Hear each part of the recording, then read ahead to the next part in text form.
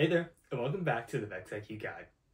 In today's video, we're going to be walking through a step-by-step -step tutorial on how to make one of the best drivetrains in VEX IQ. This drivetrain runs on a 2 to 1 speed ratio, making it super fast, but also have enough torque to carry any heavy load that you need on your robot. This is my favorite drivetrain in VEX IQ, and it's super simple to make, so let's jump right in on how to make it. Firstly, we're going to be taking a 2x20. Now we're going to be taking one of these pitch shafts and putting it into the seventh hole down.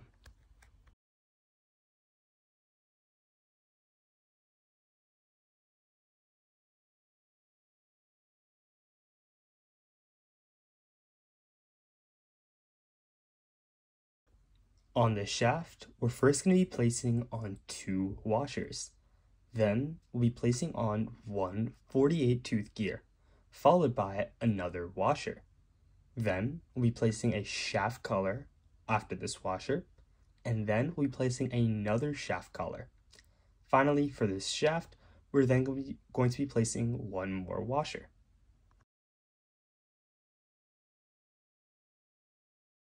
Next, we're going to be making the small module for the wheel. We simply take this piece here and put four pins on it, and we put one shaft collar in. Then we place it inside the holes of the wheel. Next, we'll be taking our other 2x20, and then we're going to be placing these two long double-sided connector pieces on each side of the 2x20, as you can see here. Then we'll be placing a pitch shaft collar onto the fourth hole in on the beam. Then we'll be placing three spacers onto the shaft, followed by the wheel. Make sure the wheel is facing outwards, as you can see it is here.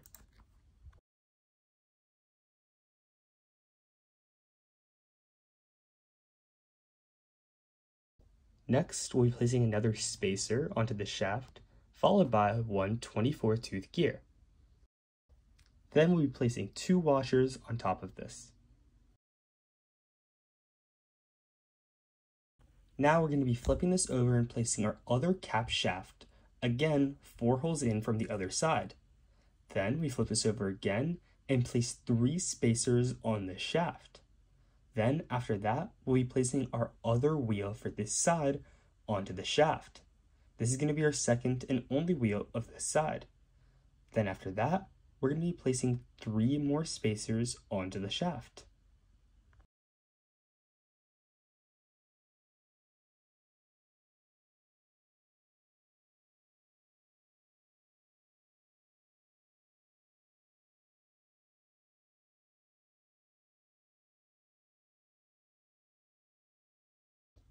After that, this is a very important part, so be sure to watch closely. We're going to be combining both sides that we've just made. What we have to do is align all of the holes so that the beams are parallel to each other and go in on the connector side on both sides. Then all the holes should line up. Make sure the gears with the 24 tooth and 48 tooth are rubbing against each other. The teeth should be intertwined. Make sure all of the shafts are in their respective holes on both sides. Be sure to look carefully at each shaft and make sure it's in a hole. All shafts should have a hole. Ensure that this is the case and your drive should be good to go just like you see here.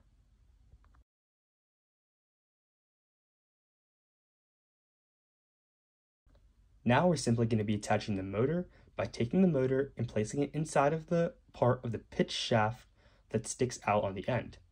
Simply spin the wheel in order and push down on your motor in order to ensure that it goes in. So now we've made one side of the drivetrain. Now for this drivetrain, we do actually need to make two of these total, one for the right side and one for the left. So I'm gonna leave this up to you. You can either jump back to this point in the video and see me do these steps again, or you could try to make it on your own. It's your choice, but you will need two of these to move on with the video. Now we're going to be combining both sides of the drive. I'm going to speed this part up, but as you can see, I'm simply placing four pins on each side of this 2x16. We're going to have to make two of these total.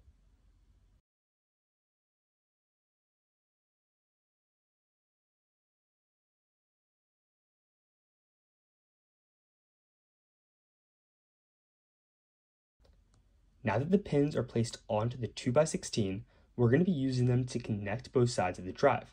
As you can see, the four pins go in the four main holes of the connector on each side. You can see it snaps right into place on both sides. Now we'll simply be repeating this process for the other side, as you can see here.